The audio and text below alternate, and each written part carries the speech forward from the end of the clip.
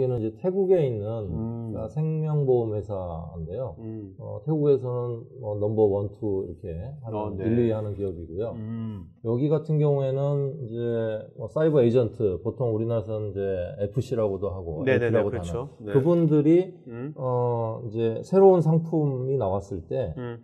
어, 기존의 페이스북이나 트위터의 본인들 계정에 네네. 네. 어. 내부의 신상품을 알리는 음. 그래서 본사에서 일방적인 마케팅 활동보다는 네. 어, 1대1로 음. 본인들의 지인들한테 알리는 방식으로 유용하게 음. 쓰는 케이스인 것 같습니다. 네.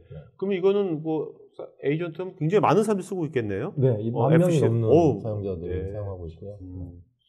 그 네, 직접 저희 첫뭐 해외 수출 사례가 그러면 됐습니다. 직접 태국에 가서 교육도 네, 시키시고 네, 태국에 가서 포팅 해드리고 네네. 네, 교육하고 음.